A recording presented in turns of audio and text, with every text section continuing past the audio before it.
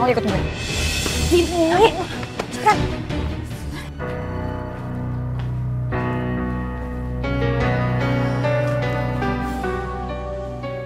Gue harus temuin Tristan. Gue gak mau kehilangan kesempatan buat dapetin dia.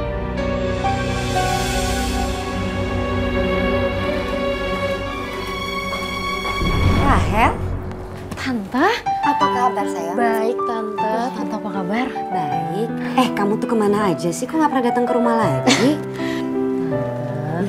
Aku itu cuma sibuk kerja aja. Em, Tante dengar kamu putus ya sama Tristan.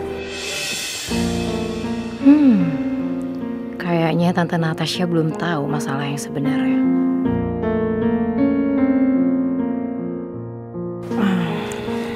Udah duduk, kita cerita ya.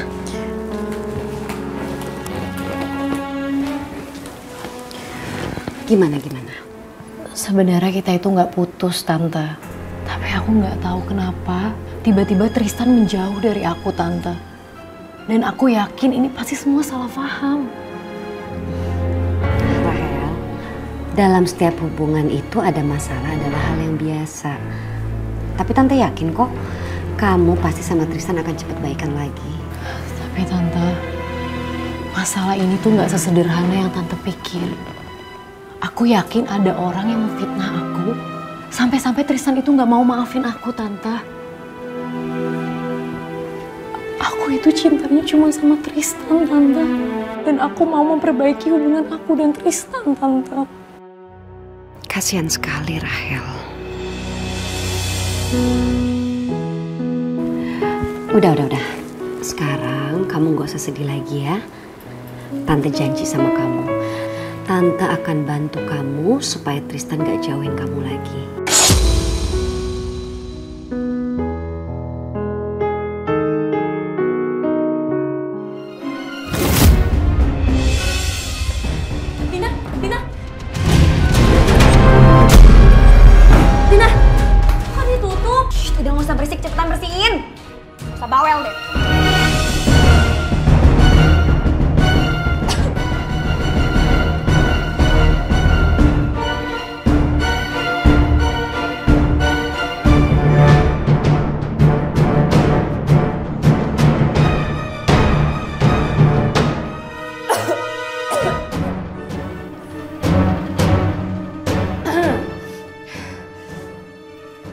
Dina, Dina bau banget di dalam. Boleh buka nggak? Nggak ada udaranya.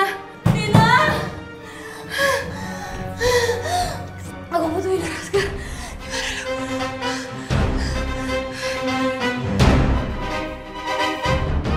Aku bisa naik ke situ deh.